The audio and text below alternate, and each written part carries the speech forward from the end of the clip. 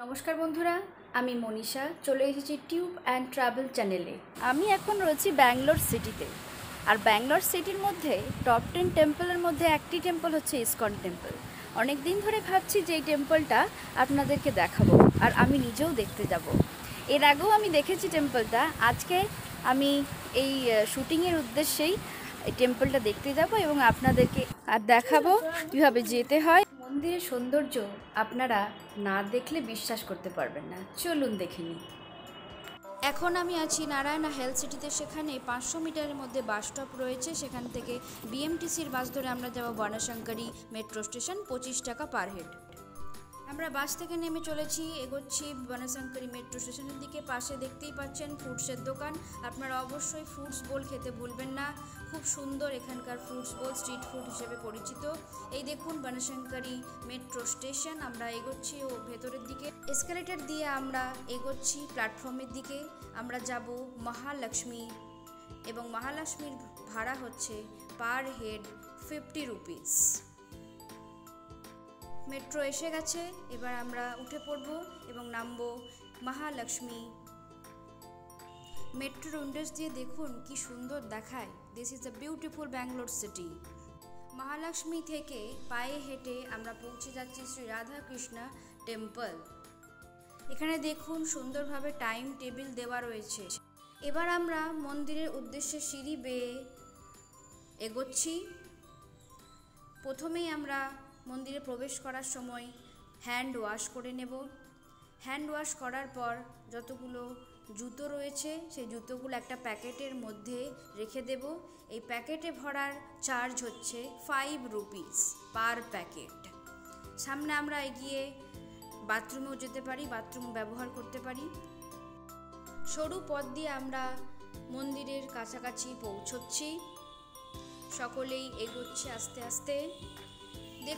দূর থেকে কত সুন্দর দেখাচ্ছে মন্দিরটা কারুকার্যময় ধপধপে সাদা একটি মন্দির লাইটিংয়ে ভরিয়ে রয়েছে আর একটা কথা বলি মন্দিরে কোনো স্লিভলেস অথবা ওয়েস্টার্ন ড্রেস পরার অ্যালাউ নেই শরীর ঢাকার ড্রেস অবশ্যই পরবেন মন্দিরের এটা গেট সকলেই এগোচ্ছে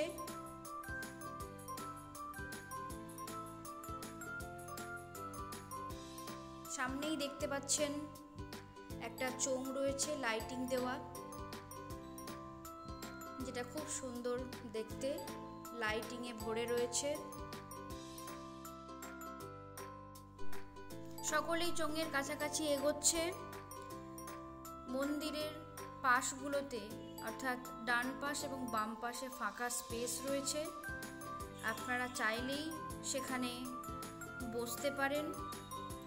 সুন্দর একটি ফাঁকা স্পেস দেখুন চারিদিকে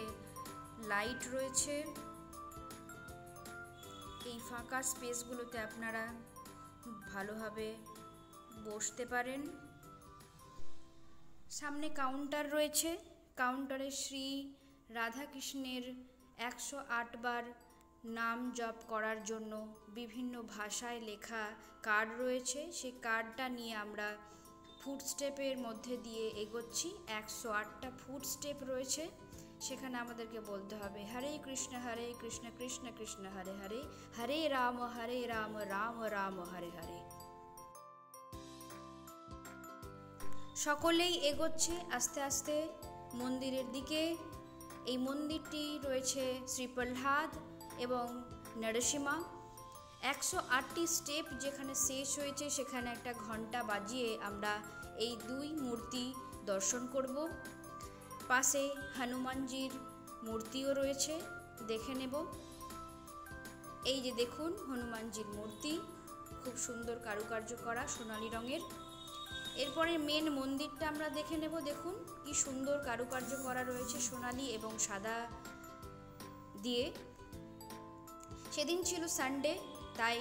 প্রচুর লোকের আনাগোনা এদিন আমরা লক্ষ্য করেছি এবার আস্তে আস্তে আমরা মন্দিরের মধ্যে প্রবেশ করব অর্থাৎ মেন মন্দির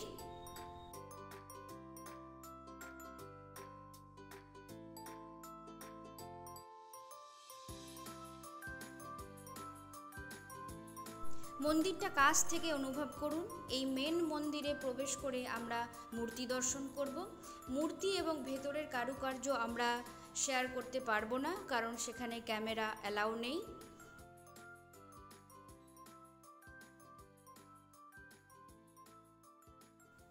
মূর্তি দর্শন করার পর আমরা ব্যাক সাইড দিয়ে নেমে আমরা বিভিন্ন শপের দিকে এগোচ্ছি চলুন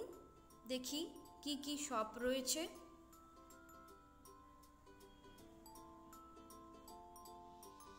বিভিন্ন রকম সাত্বিক আহার যেমন কেক পাটি সাপটা লাড্ডু বিভিন্ন রকম ছবি শোপিস এগুলি রাখা রয়েছে আপনারা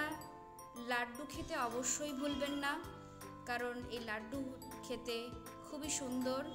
per piece twenty five rupees আমার খুব ভালো লেগেছে এই লাড্ডু অনেক শোপিস রয়েছে সানডে যেহেতু বললাম সেদিন খুব ভিড় ছিল তাই সেভাবে আপনাদেরকে ভালোভাবে দেখাতে পারছি না এখানে কৃষ্ণ ভগবানের বিভিন্ন রকম মূর্তি রয়েছে বা শোপিসও রয়েছে আপনারা পারলে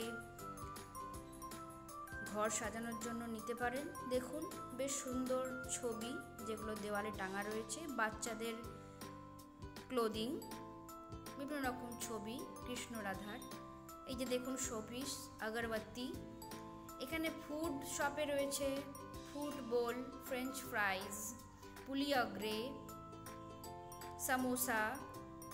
দহি বড়া পাটিসাপটা রসগোল্লা ইত্যাদি দেখুন সবচেয়ে ফেমাস হচ্ছে এখানকার দহি বড়া এটা খেতে অবশ্যই ভুলবেন না আস্তে আস্তে আমরা বাইরের দিকে এগোচ্ছি এখানে প্রসাদ বিতরণ করা হচ্ছে সেদিনের জন্য ছিল প্রসাদ সাম্বার রাইস এছাড়া অন্যদিন খিচুড়ি ভোগও দেওয়া হয় এর আগে আমরা খিচুড়ি ভোগও নিয়েছি বা পেয়েছি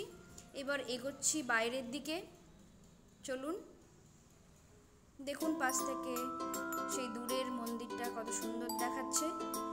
এখানে একটা নিরামিষ রেস্টুরেন্ট রয়েছে আপনারা চাইলে আসতে পারেন এবার বাইরে এগিয়ে যাওয়ার পালা এখানেই ইস্কনের জার্নি শেষ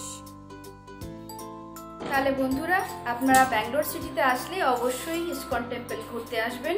এবং এর সৌন্দর্য অবশ্যই গ্রহণ করবেন